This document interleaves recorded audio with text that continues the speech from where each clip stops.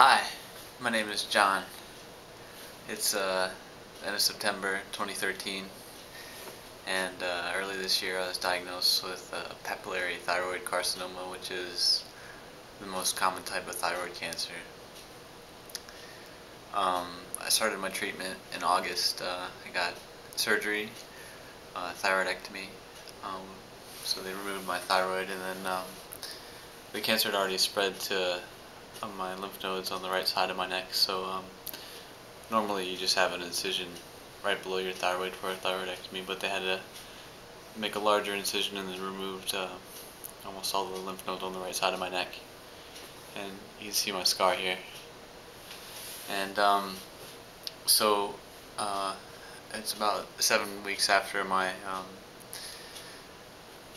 my surgery and uh, I started the second part of the treatment which is uh, radiation uh, so in the case of uh, radioactive with uh, thyroid cancer they can treat it with uh, radioactive iodine. So earlier today I received um, a, a, dose of 161 millicurie of radioactive iodine 131 and then that decays into both, or spits out gamma and beta uh, radiation. And uh, so I, I, got this uh, this uh, Geiger counter online uh, to measure, you know, mostly for my wife, so we can measure, you know, how if I contaminate anything in the house, and I mean, it's just kind of interesting to see how radioactive I am. So, um, so I'll go ahead and turn it on. It's a CDV 700. Uh, Cold War era. They were built like from in the 50s and 60s. So I'm gonna go ahead and turn it on. It's gonna. This is on um, 100 times. So um, you can see right now I, I'm over 50 uh, uh, per hour. Um, and uh, yeah, so and also like so if you look at the probe here, there's a there's a shield which uh,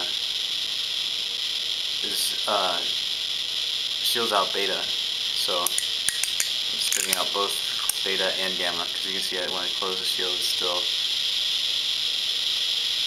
uh, out of range. So yeah, so um,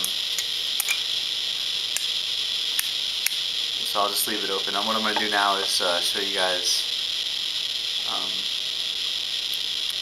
the range of the radiation, so I'm going to slowly walk away, and then you can see, um, you know, how much I'm spitting out as I walk away.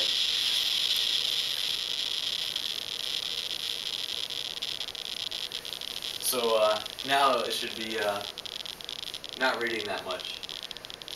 It's relatively far away. Um, yeah, so, and then as I approach,